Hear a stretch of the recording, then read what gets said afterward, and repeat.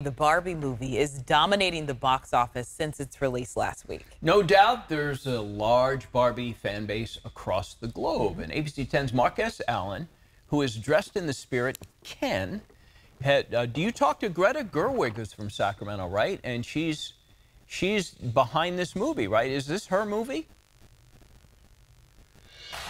Yeah, behind the movie, she wrote the movie, she directed the movie. She now goes down in history as being the highest grossing, biggest out of the box box office by a female director of all time. So you go, St. Francis. Shout out Greta Gerwig. Yeah, we caught up with her and the cast and crew.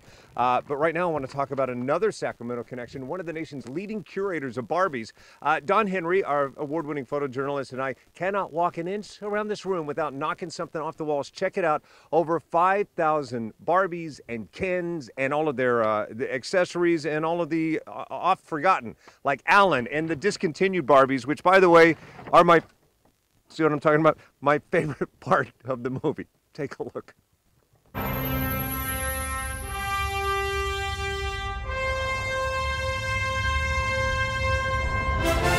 Barbie. Odds on you've seen it. And how'd it make you feel?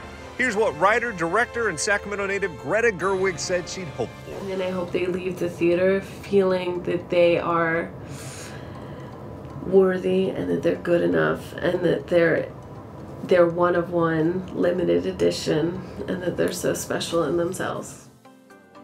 One person with unique feels on the subject this guy. Sam Pena is one of the nation's most respected Barbie curators. His million dollar collection literally consumes his house. It's awesome. I think it's about time Barbie had her own movie.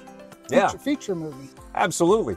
And we don't have time to get through the thousands of Barbies, but we can take a tour of the movie for people Mhm. who are fans, right? Yeah. 2001 A Space Odyssey, there's an ode to that in the beginning, and who comes out but the original Barbie, and you have her right here. Yeah, that classic 1950s look, that zebra bathing suit, it's just iconic. Michael Cera, I love his character in the movie. Mhm. Poor Allan, the Yeah. forgotten Barbie guy. Yeah, he's often overlooked, but he's cool. Awesome. You just keep collecting? Like, what's the end game? There's no end game. Barbie's here forever. Long after everybody's gone, Barbie's still going to be around in one form or another.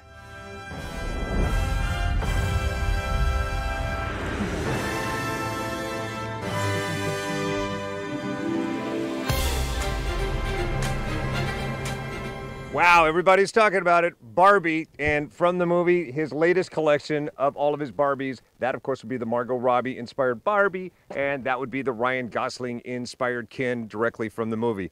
Speaking of the movie, like we said, it opens up with the original Barbie. This case alone would put one of my kids through college. So he's got some, as the kids say, Skrilla in the Barbies. My favorite thing about the movies, the What? discontinued Barbies, you're going to be seeing that. And he's very funny, this guy. As I'm stepping out to the car, he says, You know why she's going to be around forever? She's not biodegradable. Yeah. Yes. Is there a question from back Uh, there? There is a question from, from the dais here. Where did you get the suit, and did you have the suit before the movie?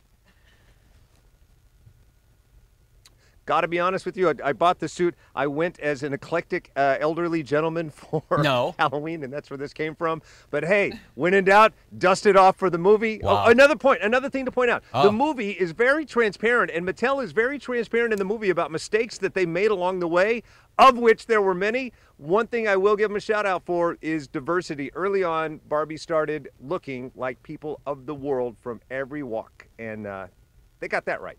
Anyway, uh, tell our bosses, uh, Walt, that camera guy Don and I will not be available to the rest of the day. We'll be picking up the Barbies we've knocked off the shelves roughly until about 2. Back to you. There's not much room to move there, so uh, any knocking down is understandable, Mr. Bull in China Shop. Okay, thank you. Mark S. Allen, the sartorially resplendent one, who does look like Ken in that pink suit. I, I think he looks uh, particularly fetching today.